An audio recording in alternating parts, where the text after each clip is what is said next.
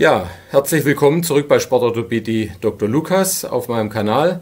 Ich möchte euch heute ein bisschen was über den Zusammenhang von orthopädischen Problemen und Übergewicht erzählen. Beides wird immer mehr in Deutschland, welcher Zusammenhang besteht. Wenn euch das Video gefällt, freue ich mich natürlich darüber, wenn ihr ein Like gebt, wenn ihr den Kanal abonniert, noch viel mehr und wenn Fragen kommen, schreibt es mir in die Kommentare. Ich gucke, dass ich jede, jede Kommentierung auch beantworte. Also heute Adipositas und Orthopädie. Als Einstieg ein paar Zahlen vom Robert Koch Institut aus dem Jahr 2019-20. Demzufolge waren in Deutschland 47 Prozent der Frauen und 61 Prozent der Männer übergewichtig.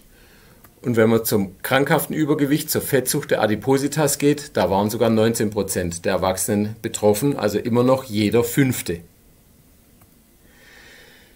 Das Problem mit der Adipositas ist, dass jede Menge Folgekrankheiten daraus resultieren. Sei es psychologische Probleme, sei es der Bluthochdruck, sei es Diabetes mellitus, Punkt, Punkt, Punkt. Ihr seht hier, was da alles mit betroffen ist. Ich möchte heute vor allem auf diesen Bereich eingehen, die orthopädischen Störungen, zum Beispiel auch eben Rückenschmerzen. Wenn man also die Adipositas als Zentrum des Universums ansieht, dann können Probleme im orthopädischen Bereich zum Beispiel bezüglich Arthrose, bezüglich Verletzungen, Rückenschmerzen oder auch Beinachsenfehlstellungen auftreten. Und auf die Probleme möchte ich heute genauer eingehen. Lasst uns mit der Arthrose anfangen, also der übermäßige vorzeitige Gelenkverschleiß. Da ist zum einen durch die Adipositas natürlich die mechanische Überlastung zu nennen. Wenn man pro Jahr plus minus ungefähr eine Million Schritte macht und bei jedem dieser Schritte 10 oder 20 oder noch mehr Kilo zu viel hat, dann ist das für das Gelenk natürlich eine maximale Mehrbelastung, die es irgendwann nicht mehr toleriert und vorzeitig verschleißt. Man weiß, dass da das Knie häufiger betroffen ist als die Hüfte, da gibt es Studien zu. Beide Gelenke zeigen aber vermehrt Reaktionen vorzeitige Arthrosen durch Übergewicht. Aber das ist noch nicht alles. Wenn man die Gelenke dann operieren muss, Hüft- und Knieprothesen, dann haben die übergewichtigen Patienten leider auch ein erhöhtes Komplikationsrisiko. Es kommt eher zu Infekten, die Hüftgelenke vor allem luxieren eher die künstlichen, es kann gehäuft zu, äh, zu Thrombosen kommen und auch eine vorzeitige Lockerung ist bei Übergewicht häufiger. Also es kommt nicht nur vermehrt zu Arthrosen, auch die Komplikationen sind häufiger. Beides nicht gut. Aber es ist nicht nur die mechanische Überlastung, von der ich gerade gesprochen habe, sondern übergewichtige Patienten haben auch vermehrt Arthrosen in den oberen Extremitäten, also in den Fingern oder im Schultergelenk, wo ja nicht direkt die Belastung draufkommt, man läuft ja nicht auf seinen Fingern durch die Gegend. Auch da ist vermehrt äh, eine, mit einer Arthrose zu rechnen und das liegt daran, dass Entzündungsvorgänge getriggert werden.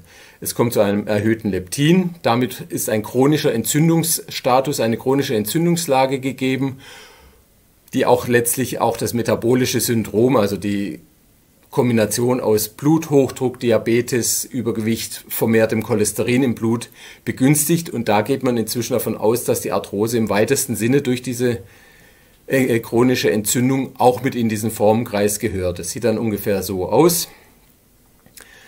Also die Fettzellen fördern die Entzündungsmediatoren, dadurch wird auch vermehrt Leptin produziert oder freigesetzt und das letztlich kann diese Entzündungsvorgänge fördern, die Gefäßverkalkung, die eben dann zum Bluthochdruck oder auch zum Herzinfarkt führen kann oder auch die Thrombose mit verursachen kann und das führt letztlich aber auch eben zu vermehrten Arthrosen.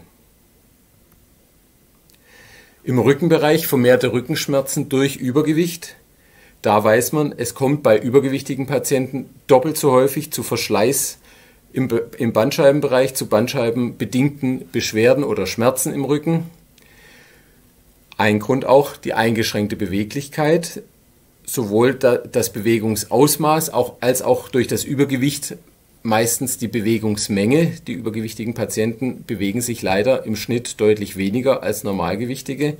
Beides fördert die Rückenschmerzen, weil die meisten Rückenschmerzen sind auch funktionell. Die Muskulatur ist zu schwach, weil sie zu wenig gefördert, zu wenig trainiert wird. So wie ich sagte, Bewegungsmangel führt zur schwachen Muskulatur.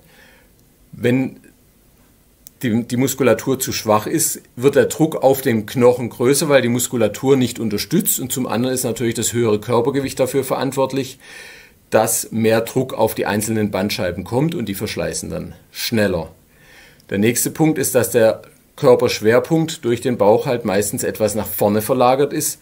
dadurch ist dann die Rückenmuskulatur dauerhaft angespannt, um das Vornüberkippen, das Vornüberbeugen zu verhindern.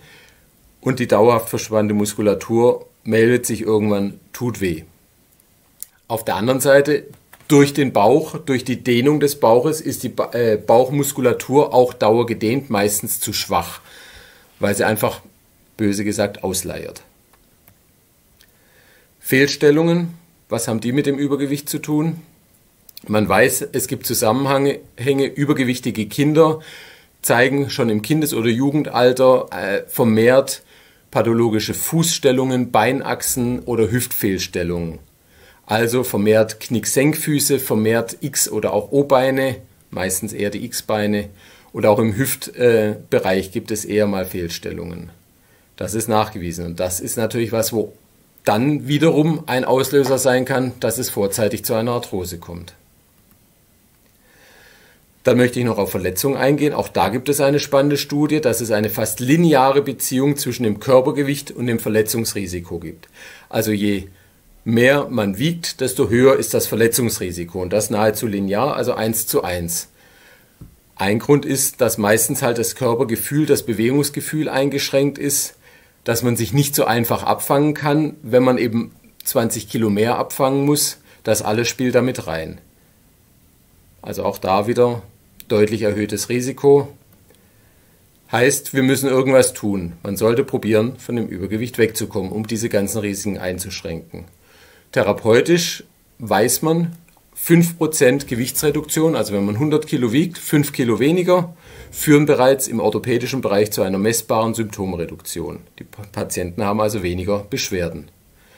Wenn Sie es schaffen, 10 Kilo weniger zu wiegen oder 10% des Körpergewichts, das war wieder das Beispiel mit dem 100 Kilo Menschen, 10% weniger Körpergewicht führt bereits zu einer signifikanten Verbesserung der Klinik, also der Schmerzen oder der, der Funktion, aber auch zu einer Qualitätsverbesserung und zu einer dicken Zunahme, zu einer Volumenzunahme des Knorpels am medialen Femokondylus. Das ist der innere Teil vom Kniegelenk. Also wenn man hier das Kniegelenk anguckt, der innere Bereich vom Oberschenkelknochen. Da zeigt sich durch die Gewichtsreduktion sowohl quantitativ, volumenmäßig als auch qualitativ eine Verbesserung des Knorpelgewebes. Und das ist natürlich deutlich hilfreich, um eine Arthrose zu verhindern. Um jetzt das Gewicht abnehmen zu können, langt es nicht allein zu sagen, mach mehr Sport. Ganz wichtig ist einfach die Lebensstiländerung, die Ernährungsumstellung und da sollte man sicherlich mal eine professionelle Ernährungsberatung in, in Anspruch nehmen um sich beraten zu lassen, auch im Einzelfall, was macht Sinn, was macht keinen Sinn, wie kann ich von dem Gewicht möglichst runterkommen. Auch für den Sport sollte man sich beraten lassen, welche Sportarten machen Sinn mit Übergewicht, dass ich dadurch nicht meine Gelenke noch mehr überbeanspruche, was macht keinen Sinn. Meistens sollte man gucken, dass man viel im aeroben, also im Grundlagen-Ausdauerbereich trainiert. Da ist zum Beispiel Fahrradfahren oder auch Schwimmen hervorragend geeignet. Man sollte immer irgendwo auch ein Krafttraining mit inkludiert haben, weil die Muskeln auch im, in der Ruhephase Energie mehr verbrauchen als Fettgewebe. Also durch das Krafttraining kann man langfristig dann auch in der Ruhephase mehr Kalorien verbrennen. Und man sollte an der Beweglichkeit arbeiten, um da eben auch dem Rücken eine gewisse Entlastung zum Beispiel zu geben. Zudem ist nachgewiesen, dass die Kräftigung der Muskulatur die Schmerzen reduziert bei einer Arthrose. Also eine bessere Muskulatur führt zu weniger Schmerzen, wenn man schon eine Arthrose hat. Macht also Sinn, da zu trainieren, egal ob Übergewicht oder nicht. Eine hilfreiche Methode, die man dann auf Kassenkosten bekommen kann, wenn man diese Probleme hat, Übergewicht und ein orthopädisches Problem, ist der Reha-Sport. Wird vom Arzt, sowohl vom Hausarzt als auch vom Orthopäden verschrieben. Man bekommt ein Jahr lang einmal die Woche Gruppengymnastik bei zertifizierten Anbietern auf Kosten der Krankenkasse macht sehr viel Sinn. Und was mir persönlich immer sehr am Herzen liegt, das Ganze gibt es inzwischen auch für Kinder. Die müssen sich da nicht schämen, wenn sie mit Normalgewichtigen in den Sportunterricht gehen oder in den Sportverein, sondern können gezielt in einer Gruppe probieren, ihr Problem anzugehen. Das war's für heute. Ich freue mich, dass ihr mit dabei wart. Ich hoffe, ich konnte euch was vermitteln. Wie gesagt, wenn euch der Kanal äh, so gefällt, gebt mir ein Abo, äh, liked das Video, teilt es, erzählt anderen Kollegen, was es hier Tolles gibt und ich freue mich schon aufs nächste Mal.